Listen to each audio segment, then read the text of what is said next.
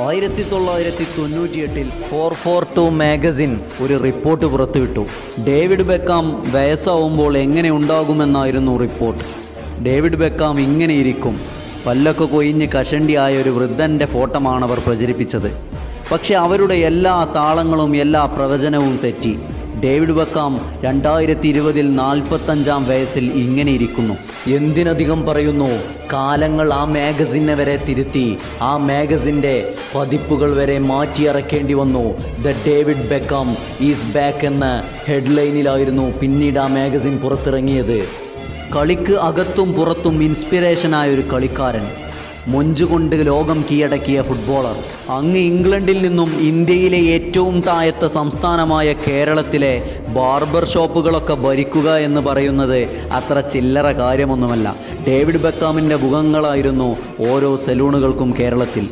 നാട് കാണാൻ വരുന്നവൻ നാടിനെപ്പറ്റി അറിയണം. നാട് ഭരിക്കാൻ വരുന്നവൻ അവൻ ആരാണെന്ന് അറിയിക്കണം. നാല് രാജ്യങ്ങളോളം കീഴ്പ്പെടുത്തിയ രാജാവാണ് David Beckham.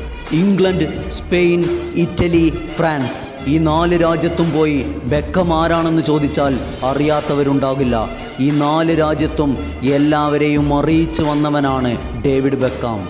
ആയിരത്തി തൊള്ളായിരത്തി എഴുപത്തി അഞ്ചിൽ ലണ്ടനിലാണ് ഡേവിഡ് ബെക്കാം ജനിക്കുന്നത്. രണ്ട് സഹോദരിമാർക്കിടയിലെ കുഞ്ഞനിയനായി അവൻ വളർന്നു.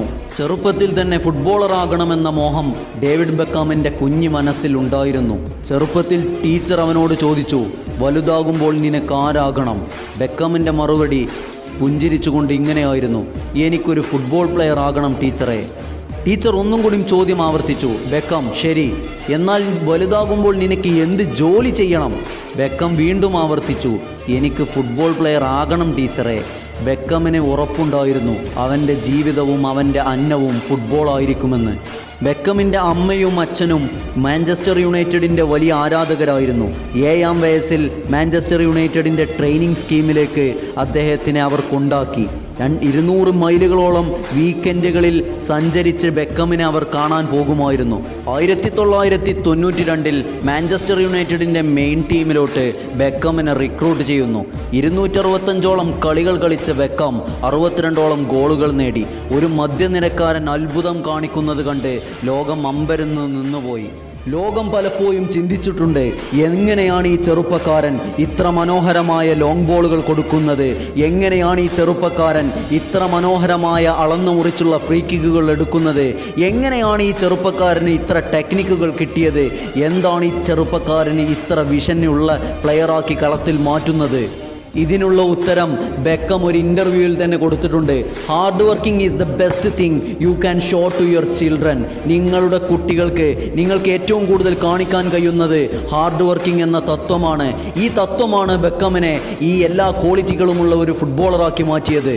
മാഞ്ചസ്റ്റർ യുണൈറ്റഡിന്റെ ചെകുത്താൻ കോട്ടയിലെ ആ ഓൾഡ് ട്രഫോർഡിലെ ആ മധ്യനിര ഭരിക്കുന്ന ഒരു ചെകുത്താൻ തന്നെയായിരുന്നു ഡേവിഡ് ബക്കാം. രണ്ടായിരത്തി മൂന്നിൽ ലോകത്തിലെ ഏറ്റവും വലിയ മദ്യനിര ഭരിക്കാൻ മുപ്പത്തിമൂന്ന് യൂറോ മുടക്കി ബാസ്കറ്റ്ബോൾ ഇതിഹാസം ജോർദാൻ ഇരുപത്തിമൂന്നാം നമ്പർ ജെയ്സി കൊടുത്ത് റിയൽ മാഡ്രിഡ് അവരുടെ മദ്യനിരയിലേക്ക് ഡേവിഡ് ബെക്കാമിനെ കൊണ്ടുവരുന്നു.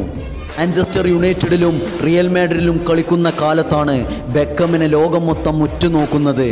ഒരുപക്ഷെ നിങ്ങൾക്ക് ഇങ്ങനെ പറഞ്ഞാൽ മനസ്സിലാകും ബെൻഡിറ്റ് ലൈക്ക് അതെ മനസ്സിൽ തന്നെ പറഞ്ഞില്ലേ ബെക്കം. അതായിരുന്നു അന്നത്തെ കാലത്ത് ബെക്കമിന്റെ റേഞ്ച് ജെനിദീൻ സിദാനും റൗളും റൊണാൾഡോയും ഫിഗോയും ഒക്കെയുള്ള ആ ഗർജിക്കുന്ന റിയൽ മാഡ്രിന്റെ കാലത്ത് തന്നെയാണ് ഡേവിഡ് ബെക്കാം അന്ന് റിയൽ മാഡ്രിന്റെ മധ്യനിര ഭരിച്ചിരുന്നത്. റിയൽ മാഡ്രിഡിൽ കളിച്ചിരുന്ന ബെക്കമിനെ കുറിച്ച് പറയുകയാണെങ്കിൽ നൂറ് നാവായിരിക്കും ജനങ്ങൾക്ക്. റേഞ്ച് ഓഫ് പാസിംഗ് അന്നത്തെ ബെക്കമിന്റെ പാസിങ്ങുകൾക്ക് ഒരു റേഞ്ച് ഉണ്ടായിരുന്നു.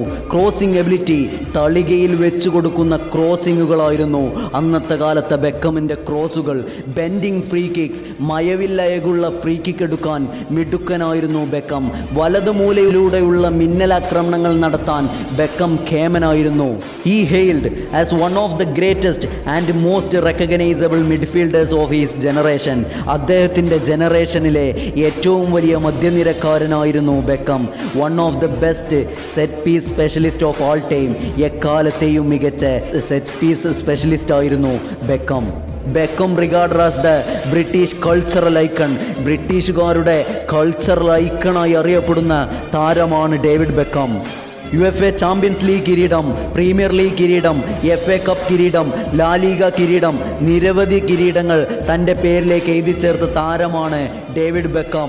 ഇന്ന് ഗേൾസിനെ വരെ ഫുട്ബോൾ പ്രേമിക്കാൻ പ്രേരിപ്പിച്ച താരമാണ് ബെക്കം. ഇംഗ്ലണ്ടിലും സ്പെയിനിലും ഇറ്റലിയിലും ഫ്രാൻസിലും അമേരിക്കയിലും എന്തിനധികം പറയുന്നു? ലോകത്തിലെ തന്നെ ഏറ്റവും വലിയ രാജാവായിരുന്നു ബെക്കം.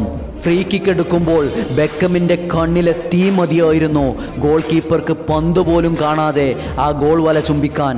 പെണ്ണിനെ എല്ലടോ പന്തിനെ വളക്കാൻ കഴിയുമെന്ന് ഞങ്ങളെ പഠിപ്പിച്ചു തന്ന ആ മധ്യനിരക്കാരൻ ചെങ്കോലും കിരീടവുമുള്ള രാജകുമാരൻ തന്നെയാണ് ഡേവിഡ് ബെക്കാം. പ്രായം കൂടുന്തോറും ചെറുപ്പമാകുന്ന midfield maestro the most handsome player ever to play in football the king of England David Robert Beckham